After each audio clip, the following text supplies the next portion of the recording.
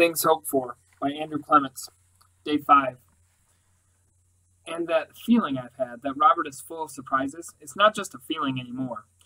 And as we rush out of the store, I'm wondering if it was really a good idea to invite him to stay at Grandpa's with me. We're out on the street, and I have to trot to keep up with him. And when we cross the avenue of the Americas, I say, Hey, you can slow down. I just looked, and the shadow isn't chasing us. He snaps, Not funny. He's really upset, so I say, Sorry, I just, I mean, I don't know what's happening. I don't know what that was about. Still walking fast, still snapping, he says, That's right, you don't know. So tell me. But he, doesn't say anything, and he doesn't slow down. When we get to Carnegie Hall, I say, I have to catch my breath, and I find a place under the marquee that's not covered with pigeon droppings, and I sit on the low step with my back against the glass in the second doorway. In the shade, it feels 10 degrees colder, and even though I'm overheated, I shiver. Robert sits beside me, and he's breathing hard too. After a minute or so, he says, Remember how you asked me if I could keep a secret? I nod, and he says, So, how about you? Can you keep one? Yes, I can. I will. He nods, but he doesn't say anything, and I get ready because I have no idea what's coming. He's watching the traffic, so I'm looking at one side of his face, and he's thinking hard. Finally, he says, Okay, what would you say if I told you that two years ago I turned invisible? I want to laugh, but looking at his face, I know not to. Invisible? You mean for real? Like, no one can see you? He nods, still looking at the cars and taxis going by. Right. No one could see me for almost a month, because my body stopped reflecting light. For real. What would you say if I told you that? Is that what you're telling me? Just answer my question. What would you say if I told you that? Well, if I believed you, or if I just wanted to go along with the story, I'd say, So how did this happen? He nods and says, And if he asked me that, I'd say it was because of scientific principles. Spectro- spectroscopic anomalies, particle light theory, physics, stuff I don't completely understand. But it really happened, and some other people saw it happen the same way I did. A whole group of very smart, very normal people. It happened to me, but they saw it too. So it wasn't my imagination, and we can't all be crazy. That's what I'd say back to you, if you went along with the first part. About becoming invisible, I say. Right. Of course I'm not going along with the first part, because it's not going, it's got to be some kind of joke. But I'm nodding anyway. I feel like I've edged my way out onto a frozen pond, and the ice isn't thick enough, so I want to stop. But it's not safe to stand still either. So I take another step because I have to. And I say, So if we got this far, I guess my next question would be who are these other people? The ones who know for sure that this really happened to you? Robert glances at my face, then looks beyond me, scanning the flow of people walking toward us. And I see a tiny flicker of fear in his eyes, there and gone. Then he turns back to watching the cars. He smiles to himself and says, That's the right question. Who else knows? And to answer you, I'd say there's my mom, who teaches literature at the University of Chicago. There's my dad, who's a physicist at the Fermi National Lab. There's Alicia's mom, a serious college educated American citizen. And there's Alicia's dad, also a physicist and also a professor at U of C. And there's Alicia. And now, you. He looks at me. I'm trying to keep my face still, trying not to let my thinking show. But he sees I'm confused, and he, pro- he probably sees I'm also a little scared. And I am. Because really, I don't know this boy. For all I know, he's got serious problems. He turns back and stares up at the building across the street. It's okay if you don't believe me, but keep all that a secret anyway, because it's not a story, and there's more. While we are working out the problem, two years ago, I found someone else. Another person it happened to. Only one, but it was important because that proved it didn't only happen to me. And that's what I think we saw back there in the Nike store. Another one. And suddenly my heart's beating so fast, it's hard to breathe. And my mind is stuttering at itself. No, no, no, way. Because I don't know what to think. Because I really did see it, that shadow. A faint, wavy shadow of a guy with long hair turning his head looking around, there in the store, up against the wall. I saw it. His shadow was there, but there wasn't a body to match it. And then his shadow disappeared, just vanished. I saw it. Robert stands and brushes off his pants. Ready? and he reaches down to help me. And when I look up into his face and take his hand, that's when I start to believe this person pulling me to my feet is not a liar. And he's not weird, not at all. And I'm not afraid of him or of what he's saying, because why would he make up a story like that? And I did see it, that shadow. I saw it with my own eyes. I saw it. Riding the subway home, he answers my questions, and I have a lot of them. Because one, once I accept that any of his story is even a tiny bit possible, I want to know everything, all the details. And he tells me everything except he doesn't tell me what triggered the phenomenon. That's what he calls it, the phenomenon. And you? You went out into the public too? He nods and I say, But like, you couldn't wear clothes, right? He nods again, blushing now. Yep, naked as a Greek statue. Takes some getting used to.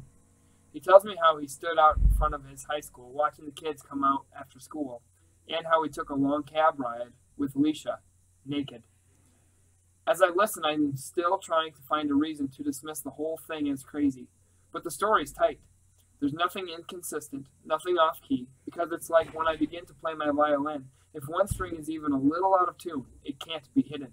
And I hear Robert's voice and I see his eyes, and there's not a single false note. Sitting on the noisy, swaying train, I begin struggling with the idea that someone could be hidden like that. I look around at all the people, and I'm trying to imagine what it would be like to be invisible. For a month, even if I don't completely believe it happened. I believe that Robert believes it did. I'm sure of that much. And then I have this sudden mind snap, and I know what Robert didn't tell me the other night in my practice room about how he got other, over being shy. He had this experience two years ago, and it was like disappearing, shutting off the lights. And even though I don't know what to believe, I'm also sure I really saw that shadow man, or at least something that looked like a man's shadow. And I wonder where that guy is right now. If he's real, that is. If I really saw what I think I saw, or if I really saw what Robert thinks I saw and I still look at Robert. I try to imagine what effects being invi- invisible might have had on him if it happened. Because an experience like that would have to leave some marks if it happened. And then I still look at myself, at my reflection in the window on the other side of the subway car, and I wonder what the experience of just knowing about this stuff is going to have on me, even if it's only knowing that Robert believes it happened. Because I can already feel a change in the way I look at people and at myself. And it's also changed the way I look at Robert. And not just because of the phenomenon. I'm seeing seeing him differently because of the way he's taken me into his confidence. That took some courage. After the thing in the Nike store, he could have just laughed it off, or he could have clammed up. But he chose to tell me. He's trusting me, and I don't want that to stop. Because I want to keep being friends with Robert. I admit that to myself. I really like him, not necessarily in a romantic way or even a romantic way. I like him in a classical way. So here I am. My grandfather is a missing person. The most important auditions of my life begin the day after tomorrow, and I'm sitting on the subway next to a boy named Robert who has become my current best friend and who is easily the most interesting person I've met in years. He's a great musician. He's an original thinker. He's a fearless problem solver. And oh, yes, He's saying that what I saw in the Nike store this afternoon was an invisible man. And what makes Robert think that? Because he was invisible himself for a month or so a few years back. That's what he's telling me. And even though I've only known Robert for two days, I believe him. And I believe him because I can see that if I'm going to stay friends with him, then I need to accept that what he's told me is true. except that it happened the way he says it did. And I am willing to do that. I want to believe him. Because it's sort of like this girl at my junior high, Belinda, who said she wanted to tell me a secret. It was at her house one afternoon, and she made me swear on the Bible that I wouldn't tell, and then she told me that she'd been abducted by aliens. And either it really happened to her, or else she's a crazy liar, because her story was pretty amazing. So Belinda took a risk, and she told me, and after I listened to her stories, I decided I'd just go along with her, because, well, why not? Why call someone a liar and lose a friend over something that's impossible to prove or disprove, especially when it'll never have anything to do with my own life? Because this girl wasn't crazy and she never lied about anything else. And that's sort of how it was with Robert's story. I can accept it because I want to stay friends with Robert, and it won't cost me anything to accept it. Because it's just a story, his story. It's just something that he says happened to him, and he shared it with me. But it's not part of my life, not really. It's his story, not mine. Except I never saw Belinda's aliens, and I did see that shadow in the Nike store, so that's different. We get off at 110th Street and start walking home on Sunday afternoon, and I feel like my world is changing again. There's nothing subtle about it.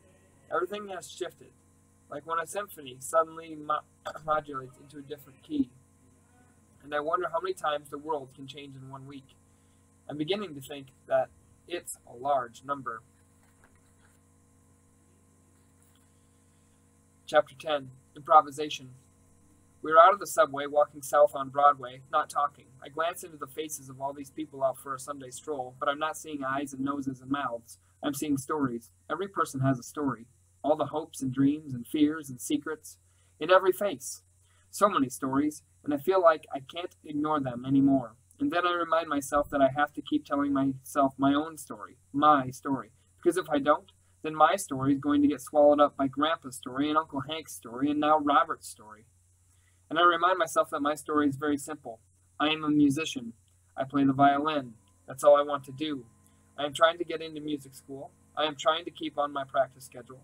I am not concerned with jointly owned buildings and feuds between brothers and trumpet players with blind girlfriends, or some invisible bearded guy at a sporting goods store. Those are all bits and pieces from other people's stories, not my story. I have a job to do here. I have I've got to get a scholarship to go a great music school, and everything else is just a distraction, an obstacle. Because on Tuesday morning I have to walk into a room and face the experts with my borrowed violin and prove that I can play the thing. I have to keep working on my story. This is what I'm saying to myself on Sunday afternoon, and as Robert and I walk along, getting closer to home, I resolve that nothing is going to pull my own narrative off, narrative off track. Nothing. I am a musician. End of story. Then Robert and I are less than half a block from Grandpa's brownstone, and I stop and I grab the sleeve of his jacket. Quick, in here, and I pull him into the doorway of a dry cleaning shop. What? My uncle. He just went up the front steps. I peek around the edge of the shop window, and Uncle Hank is putting his key into the lock. Then he's in the front hall, and I say, Let's go, run. In ten seconds, I'm fumbling with my keys. Then we're under the stoop, and then we're inside the ground floor. I can hear Uncle Hank upstairs pounding on the parlor door and yelling, Lawrence, open up. I know you're in there. Open the door. I checked the perimeter before we left. I know he can't get in unless he's got a sledgehammer, but he's making a huge racket, and the tenants and the neighbors are getting an earful. I put a finger to my lips, and Robert nods and then follows me as I creep up the stairs and into the parlor. Lawrence, open the door. We have to talk. He bangs on the door again, and the heavy panels shake on their hinges. I wish the wood were six inches thicker. Then Robert walks right over to about three feet from the door and says, I told you yesterday, I don't want to talk about this. Talk to the lawyers. You're disturbing the peace, so stop shouting and go away. Robert's using Grandpa's voice, leaning forward with his shoulders hunched like an old man. I press my hands to my cheeks and try not to gasp, but there's no chance of that. I'm so scared, I can't breathe. In a much quieter voice, Uncle Hank says, Finally, now open the door so we can talk. Robert shakes his head. I don't want to. I'm not going to. Come on, Lawrence. Hank sounds like he's talking to a small child. Listen, I'm sorry I yelled at you on Thursday, and all that stuff I said, I didn't mean it. I'm sorry. I don't want to put you into a nursing home somewhere. You're my big brother, and I care about you.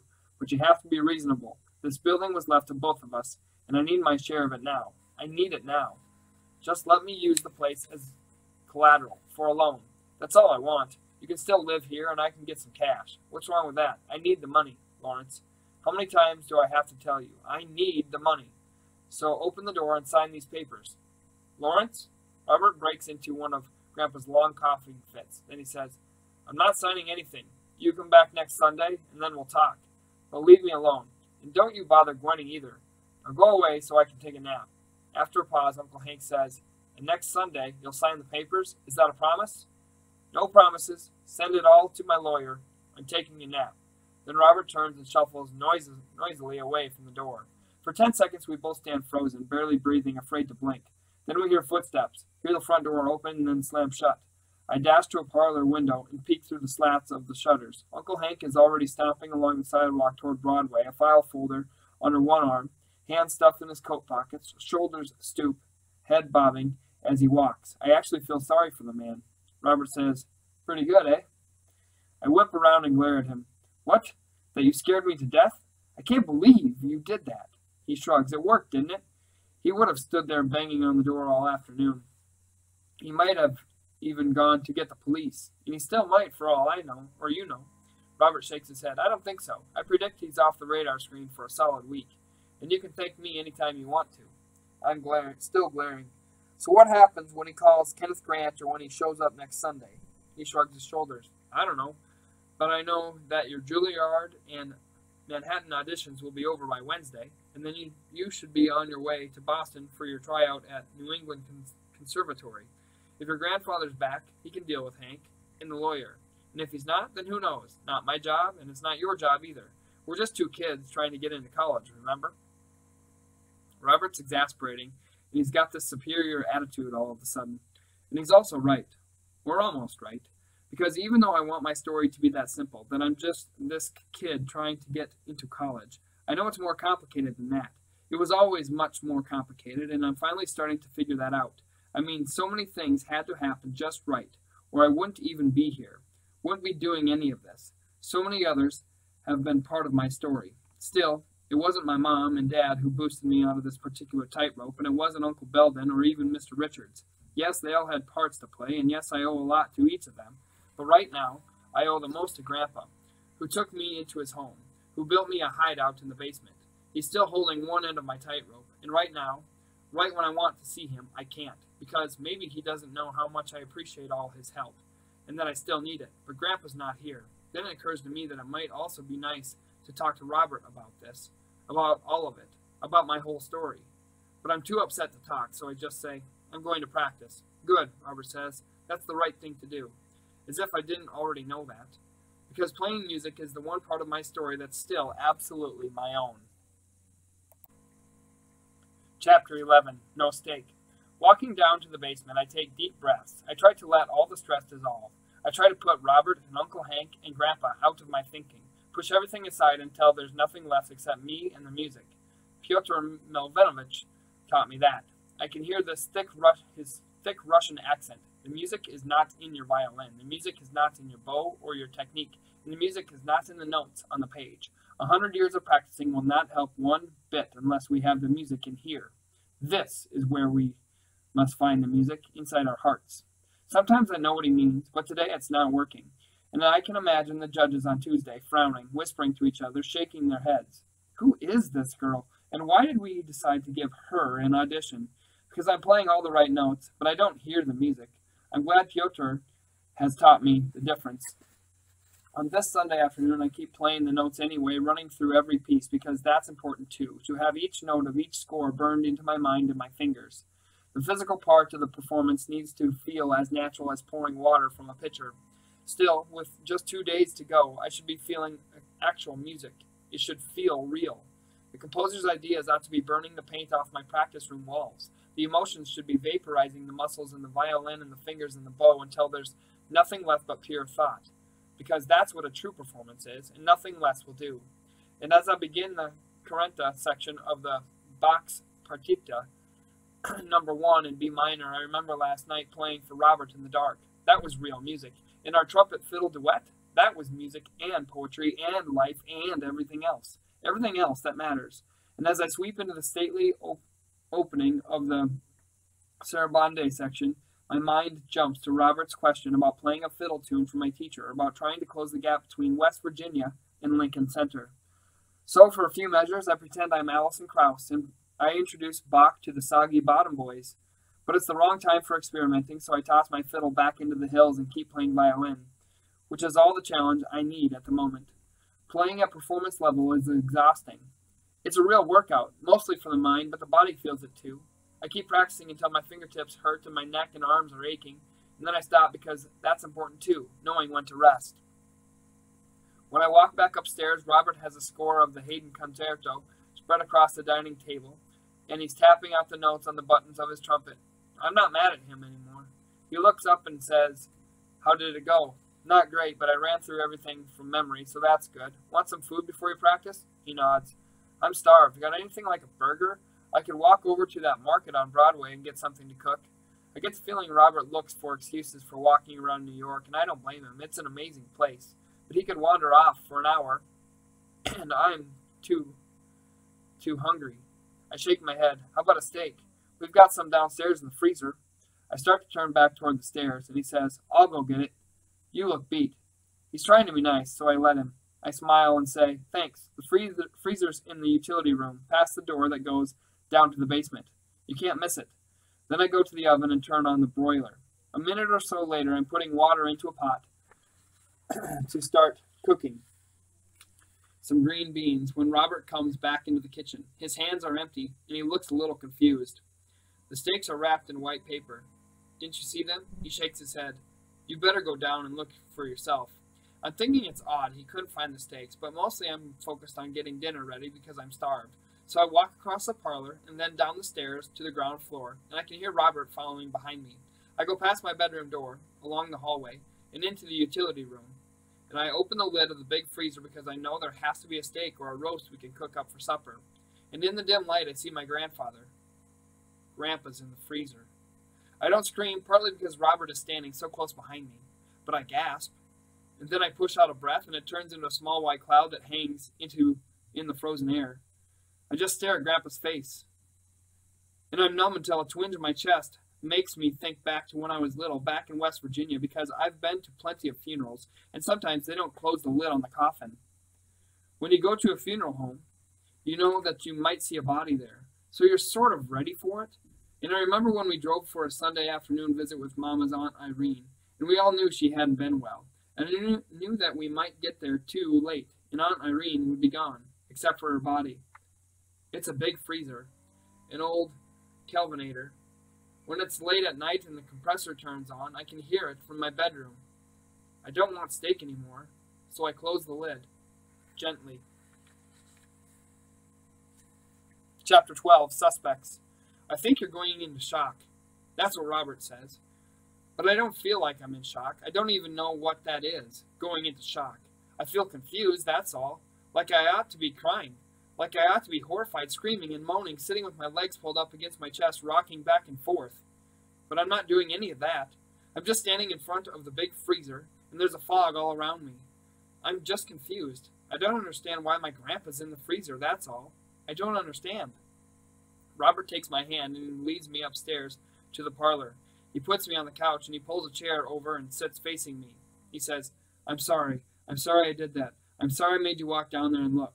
I don't know why I thought you should see him for yourself. But what was I going to do? Walk up here and say, hey, I think the man in the freezer is your grandfather? I couldn't do it, Gwen. But I probably should have, so I'm sorry, really. There's a big blue pillow next to me on the couch, and I pull it onto my lap and then hug it with both arms. I look at Robert's face, and he's so pale. I can see little freckles on his nose. He's the one who looks like he's going into shock. He's got his hands pressed between his knees, and I've noticed he, he's wearing the new running shoes from our trip to the store today, which seems like years ago. Time isn't working anymore. I hear myself saying, We have to call the police. My voice sounds like it's out there, somewhere, far away. I say it again. We have to call the police. Robert nods. Right, yes, we do. Do you do you think your uncle did it? Put him in there? I whimper and groan and wail all at the same time because the how question had not hit me, not until this moment, and the question hurts. How did this happen? And I'm seeing my dad's face when he learns about his father and about how Grandpa was found. But I see why Robert had to ask the how question, because this is not an accident that my grandpa's in the freezer. Who could do that, and why? Could Uncle Hank do that? Could anyone? How?